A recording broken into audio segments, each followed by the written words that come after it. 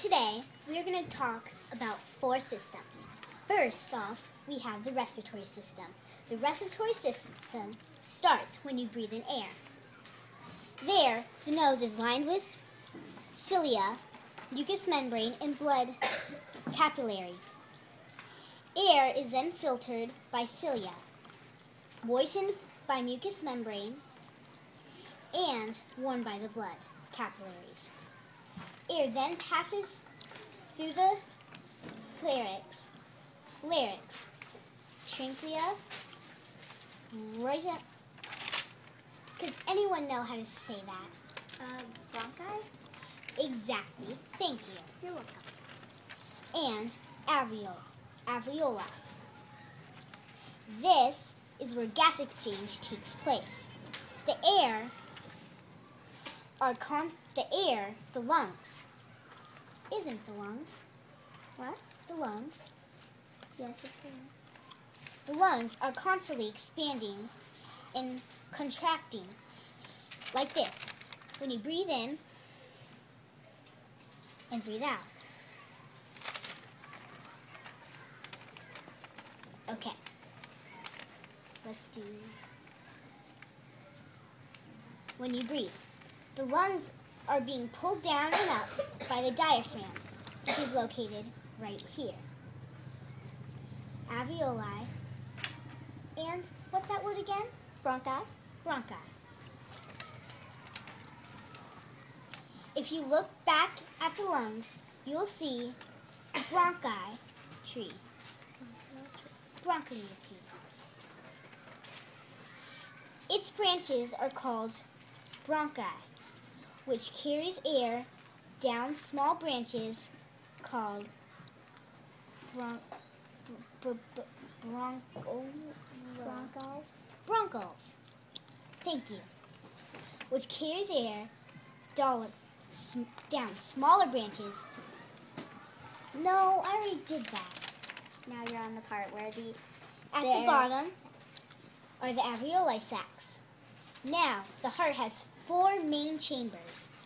The right aorta, the right verti- vertical, the left aorta, and the left.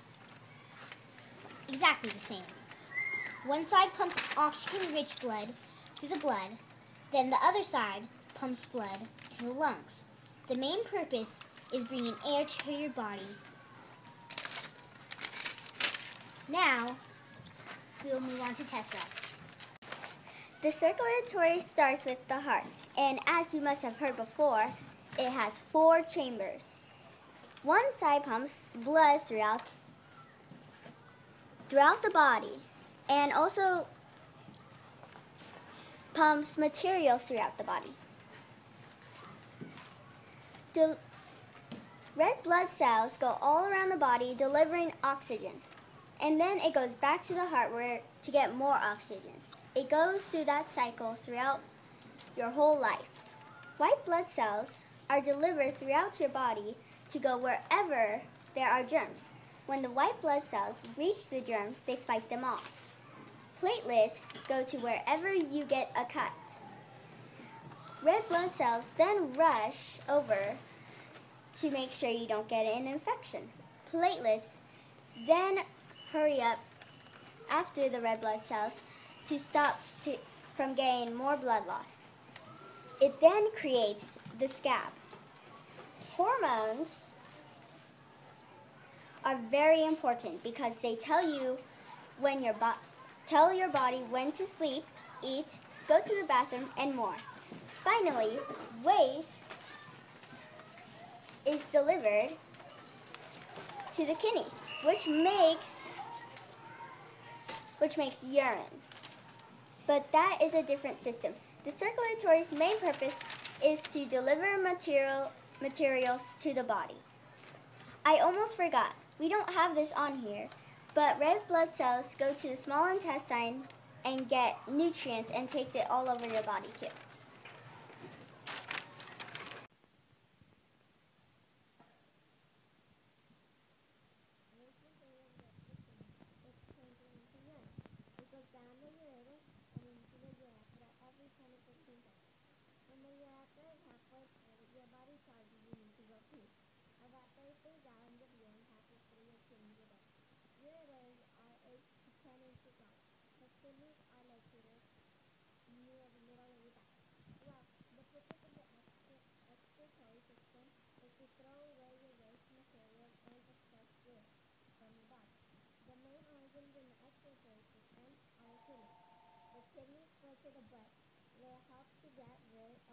in, in the form of urine, or some people call.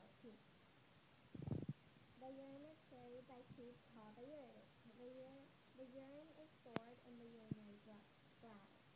When the bladder is full, the urine is passed out through the urethra. Those are the details for the excretory system. Today, we will be talking about one of the main and most important systems in our body. It's called the digestive system. Digestive system starts when you eat food through your mouth. Food goes through your esophagus and down to the stomach. The stomach has a strong acid that breaks the food down. When the food is broken apart, the smushed up food goes to the small intestines, which where then goes to the large intestines. The mushed up food goes until it reaches the rectum. From that point, the food is now called poop, or whatever you would like to call it. And the digest and the digestive system starts all over again. The main purpose is to take all the waste out of your body. Don't forget about how big the small intestine is. Oh yes, the small intestines might be called the small intestines, but they're actually 25 feet.